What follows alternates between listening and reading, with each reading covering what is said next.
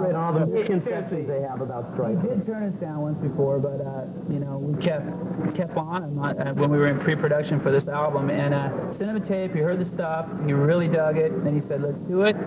Got together, uh, we had a blast. It was a party, you know. We had a big party while we were making the record, and I think it shows in our music. You can there's a lot of fun, you know. Robert kicks over cymbals, and we're laughing on the record. We're just leaving in stuff, you Were know. those the kind of changes that you think that Tom Werman brought out, or do you think that was going to happen on the new Stryper record? Either way. What he brought out in us is a new attitude.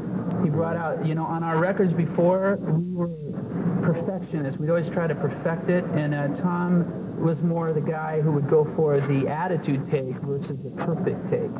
And you, you can hear that in this record, definitely. You This can hear album's got a lot of attitude. new you think? attitude, You can hear him too. He's complaining to us at the very beginning of the record. Yeah, and against the law. That's his voice. So Uh, listen to that, you'll hear Tom Werman's yeah, voice. you'll hear his voice. Okay, right now we're going to be playing a song from Don Dokken. The song is called Mirror Mirror, and this talks about, uh, or sings about Don's seven years with Dokken. Oh.